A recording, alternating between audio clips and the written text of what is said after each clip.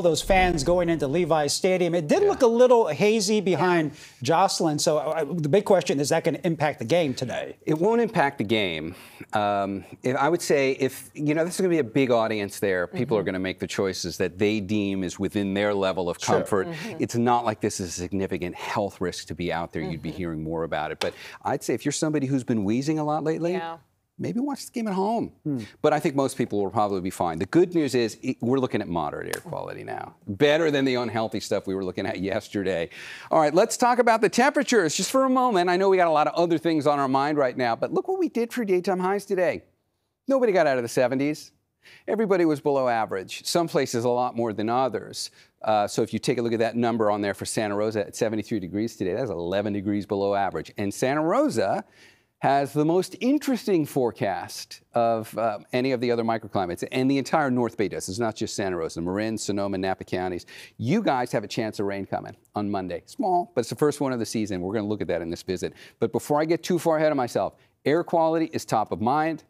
Air quality is the reason why this is still a first alert day, and at this point, tomorrow is going to be one as well because we've already been exposed to enough smoke over the last few days even though the air quality is going to get a little better tomorrow, as we mentioned earlier in the newscast, there's still an air quality alert for tomorrow.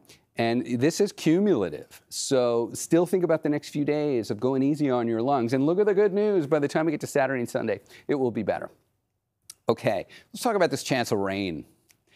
Uh, first one to fall, Fall, by the way, officially starts late tomorrow night, and then on Monday, the first system coming out of the Pacific is going to try and make it feel like it.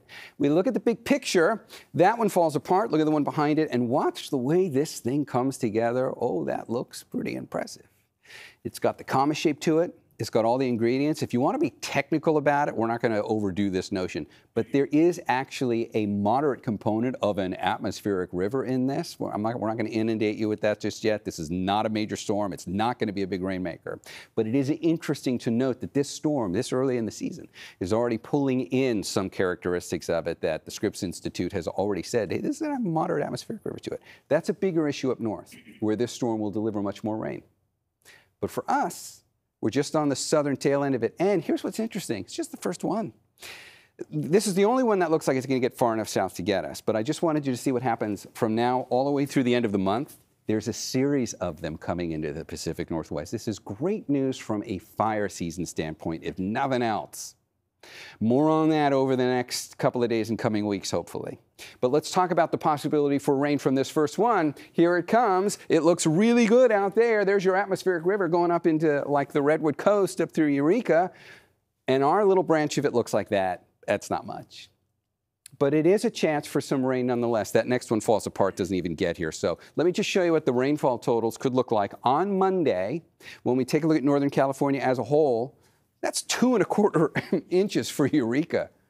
That's pretty good. And think about this the smoke that's coming our way from that Smith River complex is right in the middle of that red bullseye. That's really the important aspect of this. From the bigger picture standpoint, it starts to really put the kibosh on fire season. It doesn't end it. But it, what, what mild of a fire season it's been, this rain event is going to work in our favor from a smoke concern. Look at the totals. Maybe Santa Rosa comes away with 15 hundredths of an inch of rain out of this. That'd be, you know, on the high side. Those are tomorrow's daytime highs. No change. The, day, the temperatures are going to get cooler in the North Bay from this. You can see that on Monday. Uh, uh, when we look at San Francisco and Oakland, there's a, you get a chance of rain, but it'd be like less than a tenth of an inch of rain if we see anything south of the Golden Gate. San Jose, we didn't even put rain in the forecast for you.